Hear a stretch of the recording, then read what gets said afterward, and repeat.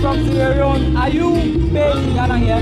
Yeah, for now we are based in Ghana, and then we are doing this uh, job, and we appreciate God for that. So, So what brought you to the funeral rites of uh, Prince Anaki? um, because of uh, what we heard about the, the man who lost his life, he's a great man, so we feel sympathy for him. So that's why we are here to support. This is our own support to the people, and then people that in our life, and then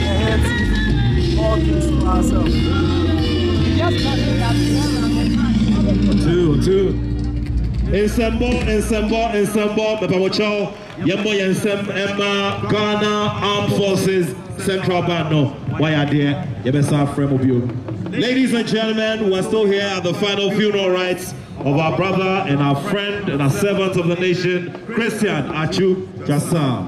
On behalf of the ghana football association and the head of the Twasam family of Ada, as well as the Ada Traditional Council, I say you're all welcome to this final funeral rites. As we go through all of this, I'd like to remind all of you that Zenith Bank has a table for donations, and we have a shed that is branded Zenith Bank, approved by the family for this activity. So if there's anybody here who would like to support the family, please do proceed there. And whatever you do in terms of support to the family will be duly acknowledged and appreciated.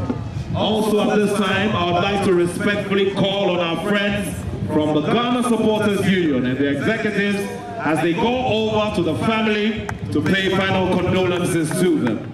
Once again, ladies and gentlemen, I call on the executives and the team of the Ghana Supporters Union as they get themselves ready to go and greet the family and pay condolences to them. As we go along, we'll be inviting some more groups and individuals here to go over and pay condolences to the family as tradition demands. Thank you all very much.